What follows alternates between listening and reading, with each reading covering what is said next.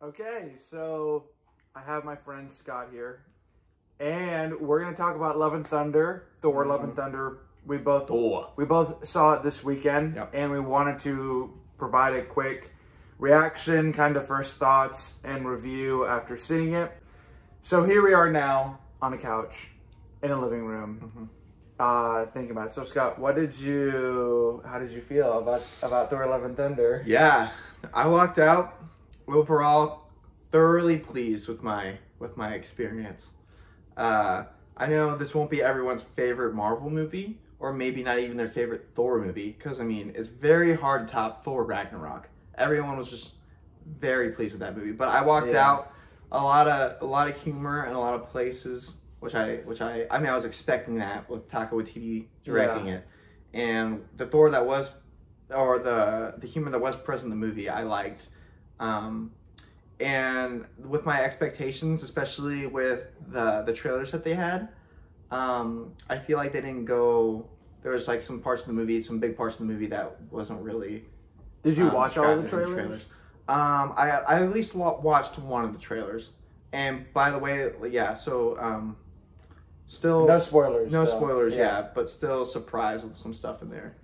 And Yeah. enjoyed it. I will say, I was surprised with Christian Bale. I thought I mean, how could Christian Bale do a bad job? I didn't think he would do a bad job, Yeah, he can't. and I think he really stepped into the role. I love how kind of like kooky and maniacal he got by the end of it. Um, and I think for so for me, I thought that there was a lot of humor played into it. And I think some of it was like super like targeted on the nose, like really kind of schlocky for the purpose of trying to draw out a lot of laughs. And by the end of it, I was kind of surprised that it was still like carrying that the whole time. So, which I shouldn't be that surprised, I guess, from Taika Waititi. I think that's kind of a similar note from like James Gunn, as they love carrying that through thread of like, don't take this seriously. Like it's like it's all in good fun.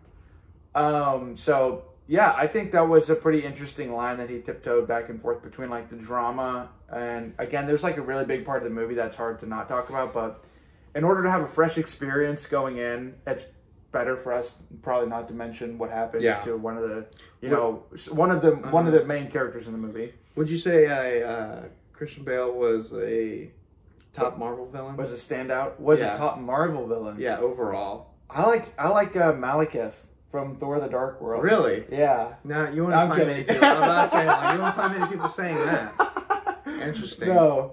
Um, I would think, yeah, maybe besides, um, like, um, I think Thanos is probably Obviously, top, top, yeah, tier. yeah. He's god tier. I would sure. say besides him, I really can't think of, um, like maybe Hydra question mark. Yeah, I would put Hydra top because like, they just Hydra kind of exist, yeah. but it's always been a few different people. Um, so it's hard to like pinpoint that on someone. Mhm.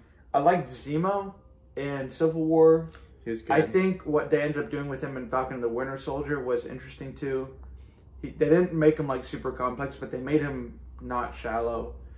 So yeah, I mean, I think the way that I mean, immediately when the when this movie starts, it is really like the first ten minutes of it kind of spell it out for you because they have an opening scene, and then they have an immediate hard transition into what comes after that, and to setting up another part of the story, and it's like I felt like it was night and day from like, man, you're opening on something wrong. I mean, they open on Gorr, the the God Butcher, Christian Bale's character, and in a very uh, somber, Mhm. in a very like you know character building kind of uh, scene.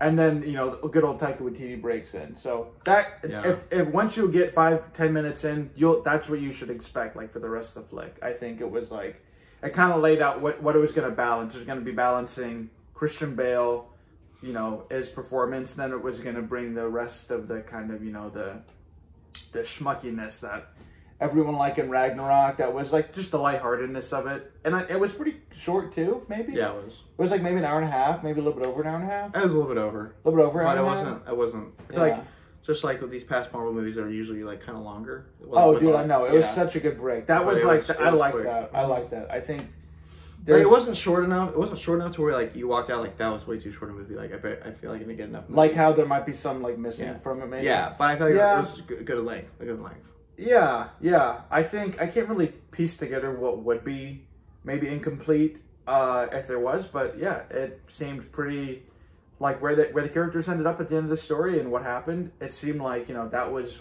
the natural progression. Like nothing really was too you know cut short, and nothing was like drawn out. You know where you're like, ah, I know where this is going for the whole movie. Yeah. Um, but yeah, I mean, this makes me, especially with how this movie ends, on a very high note for me. Um, hmm with just the characters that you see ending the film, it makes me very excited to see where, um, you know, where uh, the characters in this story take place next and where they show up next. Yeah. They, I think, I think that was one of the best kind of like uh, maybe jumping pads. I didn't. Yeah. I think this was great because it didn't have to feel like an event movie. Maybe. Yeah.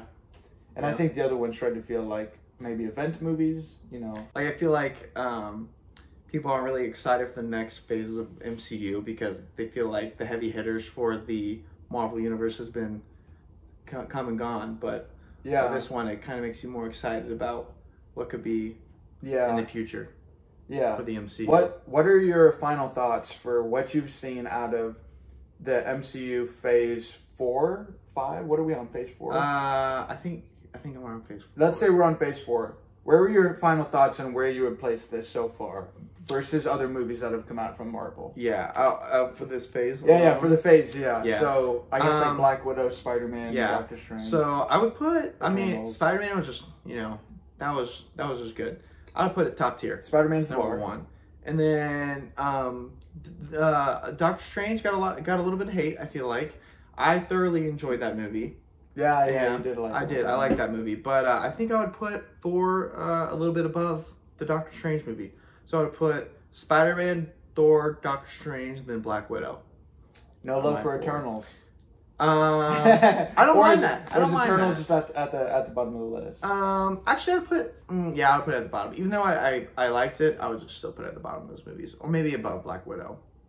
But uh, and I'm not really counting the shows. If I had to count the shows I'm not it, counting the shows. Yeah. I would, I wouldn't count the shows except Loki. Loki's a good show. Oh yeah, Loki yeah. is a good Loki. show. Loki is Loki your favorite or or Yes. WandaVision? I assume it's one. of the two. Loki is my favorite MCU. Yeah, I think- because it opened the door for so much more storytelling.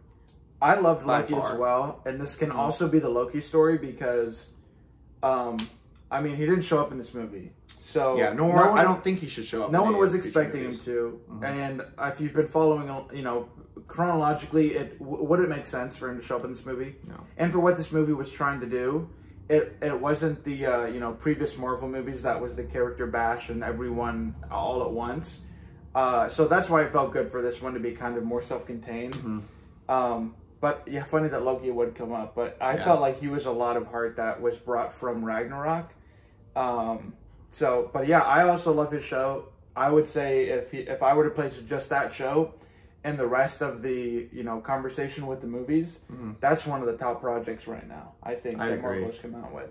Yeah, So um, Thor: Love and Thunder. go see it. It's not trying to be anything you don't think it is. Yeah. It's it's you know it's just a fun Right. time, straight up, quick in and out. Nothing too um, you know dramatic. No, yeah, yeah, I agree. Yeah, it doesn't take itself too seriously. No, Which I think, which right, Yeah. right. Which Yeah. we can enjoy more of that in the MCU. I feel like we don't, Yeah. we don't see a lot of that. So no, we don't. yeah, Let us know what you think in the comments. We're- exactly. we're- yeah, we're yeah, we want to hear your yeah, opinion. you stole my line. Yeah. Okay. See you guys in the next one. Thank you, Scott. My my pleasure. Yeah, my pleasure too.